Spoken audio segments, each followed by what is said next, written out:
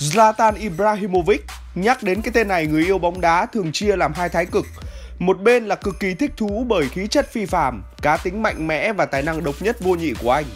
Bên còn lại sẽ cực kỳ ghét do những phát ngôn chẳng giống ai, sẵn sàng chọc ngoáy người khác và đề cao bản thân.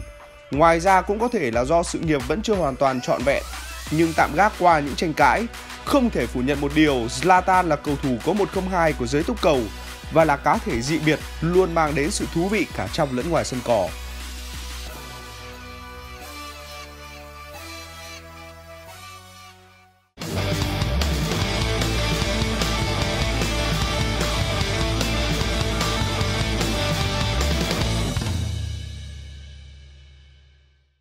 Zlatan Ibrahimovic sở hữu một thân hình cao tới 1m95 và nặng đến 98kg. Với những con số đó, anh không mấy khó khăn khi phải đấu tay đôi với bất kỳ hậu vệ nào.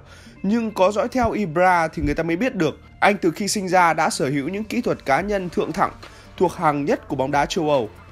Quay ngược lại vào ngày 22 tháng 8 năm 2004 trong màu áo của Ajax Amsterdam, Ibra đã thực hiện một pha đi bóng qua hết hàng hậu vệ của NRC Breda trước khi dứt điểm nhẹ nhàng vào lưới trong sự ngỡ ngàng của tất cả những người theo dõi. Bắt đầu bằng một pha kê người đầy cầu thủ của đối phương, Ibra dốc bóng đi tới và vượt qua cả hàng hậu vệ chỉ bằng 2, 3 động tác tưởng chừng như đơn giản. Ibra làm điều đó khi chỉ cần khoảng cách từ nửa phần sân đối phương, trong khi các pha solo kinh điển của những Maradona, Robel, Messi, Ryan Giggs đều cần khoảng cách bắt đầu từ phần sân nhà để bứt tốc.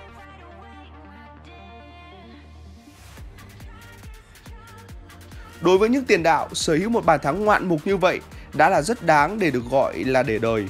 Nhưng với Ibra, bàn thắng đó chỉ là một trong số rất nhiều những cái để đời. Trong suốt sự nghiệp, đi đến đâu Ibra cũng mang đến những bàn thắng nằm ngoài sức sáng tạo của những kẻ tự cho mình là có trí tưởng tượng phong phú nhất. Từ cú đánh gót ảo diệu vào lưới tuyển Italia ở vòng chung kết Euro năm 2004 hay pha tung người móc bóng ở độ cao gần 3 mét với khoảng cách hơn 30 mét vào lưới của tuyển Anh. Điều đó càng chứng tỏ cho cái rất rất riêng, rất đặc biệt của Ibra mà ở thế giới bóng đá ít ai có thể làm được. Đến chính ông thầy khó tính Jose Mourinho cũng phải thốt lên, Ibra không biết ghi những bàn thắng sâu xí. Ngoài những bàn thắng, lối chơi toàn diện của Ibra cũng là thứ mà thậm chí số ít tiền đạo ở cùng vị trí có được. Chiều cao giúp Ibra có lợi thế trong những pha đánh đầu, sức mạnh giúp anh so kè với đối thủ, kỹ thuật cá nhân tạo ra những cơ hội cho chính anh. Kỹ năng dứt điểm tốt bằng cả hai chân làm anh tận dụng được nhiều cơ hội. Những pha sút xa của anh cũng là thứ vũ khí cực kỳ lợi hại. Nhãn quan chiến thuật đem đến cho anh rất nhiều những pha kiến tạo. Đến khi Ibra đã 34 tuổi, anh vẫn ghi bàn liên tục và cạnh tranh cho chiếc giày vàng châu Âu. Khi được chọn ra tiền đạo hay nhất để đứng chung đội hình trong mơ với những Ronaldo hay Messi trên hàng công, không ít người đã lựa chọn Ibra thay cho những tên tuổi lừng lẫy trẻ hơn rất nhiều như Luis Suarez, Robert Lewandowski hay Sergio Aguero. Trong suốt sự nghiệp của mình, bất cứ nơi đâu Ibra cũng để lại những dấu ấn rất riêng. Bản thân anh cũng là thần bảo hộ cho những chức cúp vô địch quốc gia khi chinh phục từ Hà Lan, Ý, Pháp, Tây Ban Nha. Chỉ tính riêng ở Italia, anh được gọi là Mr. Scudetto khi vô địch trong ba màu áo của ba câu lạc bộ lớn nhất xứ sở Mỹ ống là Juventus, Inter Milan và AC Milan. Dù ở bất kỳ nơi đâu, anh cũng đều vươn lên để trở thành sói đầu đàn. Tính cách này được hun đúc từ những ngày nhỏ cơ cực trong gia đình nhập cư với bố là người Bosnia theo đạo hồi, còn mẹ là người Croatia theo đạo Thiên Chúa tại vùng Rosengard. Tuổi thơ sóng gió từ nhỏ nên từ sâu thẳm trong con người của Ibra đã hình thành cái tôi rất lớn, luôn muốn vươn lên và vượt qua những người khác. Ibra từng phát biểu, khi không có ai tin tôi, tôi phải tin vào chính bản thân mình. Niềm tin đó về sau được thuyên chuyển thành sự tự tin của bản thân Ibra, cộng với quyết tâm chiến thắng. Anh luôn yêu cầu sự hoàn mỹ ở tất cả mọi thứ. Trong cuốn Người lãnh đạo trầm lặng của Carlo Ancelotti, ông đã kể lại rằng khi kết thúc một buổi tập và nhận thấy cậu bé của đội trẻ không thật sự hết mình, Ibra đã tiến đến và nói Hãy ghi vào nhật ký của chú em thế này, ngày hôm nay tôi được tập cùng với Zlatan bởi vì đây là lần cuối cùng của mày đấy. Cũng vì cá tính lớn nên anh thường có những phát ngôn chẳng giống ai. Khi được hỏi rằng giữa Ronaldo và Messi ai là cầu thủ xuất sắc nhất thế giới, Ibra không ngần ngại trả lời rằng không ai cả, đó chính là tôi. Ibra là vậy, vẫn ngang tàng, tự tin và đầy ngạo nghễ. Ngay từ khi còn là chàng tiền đạo trẻ Mamo, Ibra đã được Arsene Wenger để ý. Anh đã mặc chiếc áo đấu của Arsenal có in tên của mình và đã đem đi chụp hình khắp xóm. Nhưng ngay khi được đề nghị thử việc, Ibra đã phát ngôn một câu ngắn gọn và thể hiện rõ khí chất ngang tàng của anh. Zlatan không thử việc, sau đó Ibra chuyển đến Ajax và bắt đầu chinh phục châu Âu. Trong sự nghiệp của mình, anh đã chinh chiến trong màu áo của nhiều câu lạc bộ hàng đầu khác nhau và như vị vua Midas trong huyền thoại của Hy Lạp, bất cứ nơi nào anh đến, nơi đó đều có những chiếc cúp đáng giá. Thật sự khó có thể tìm được một cầu thủ nào có hành trang khủng như Ibra. Khả năng thích nghi nhanh đến đáng sợ cũng là thứ giúp anh không gặp khó khăn ở bất kỳ giải đấu nào.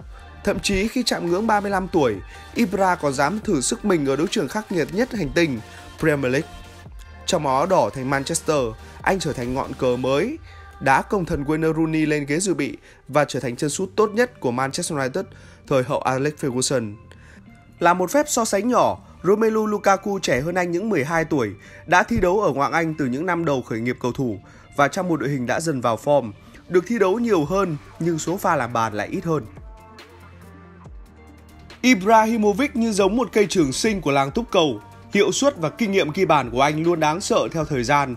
Những tên tuổi ở cùng vị trí như là Samuel Eto, Fernando Torres, David Villa từng một thời khuấy đảo trời Âu lại dần đi xuống khi chạm mốc 30 tuổi, thì Ibra vẫn là cỗ máy bền bỉ, cứ tiếp tục ghi hết những bàn này đến bàn khác, khiến người đời phải đặt ra câu hỏi, đâu mới là giới hạn dành cho Zlatan.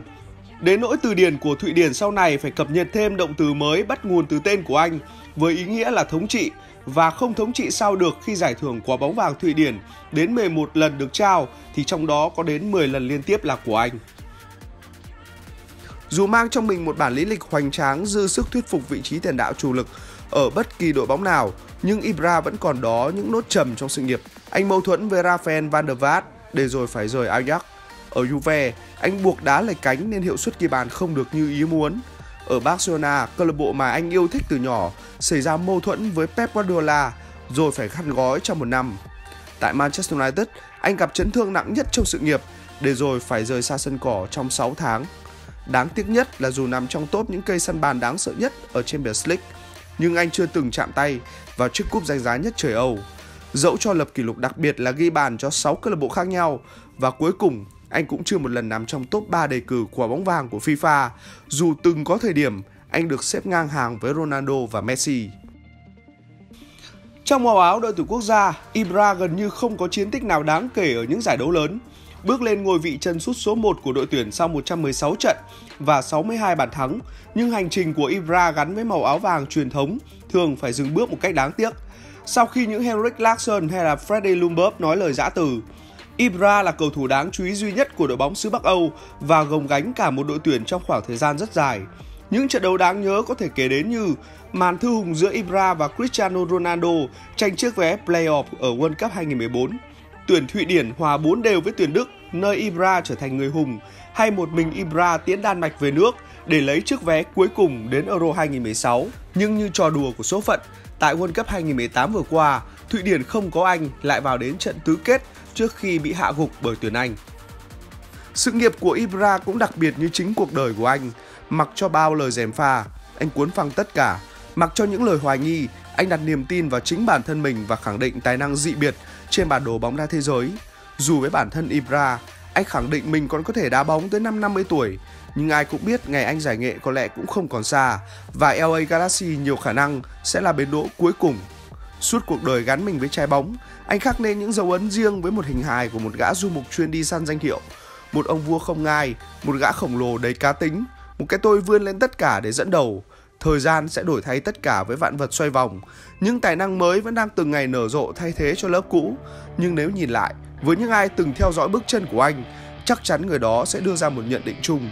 Trên đời này, chỉ có duy nhất một Zlatan.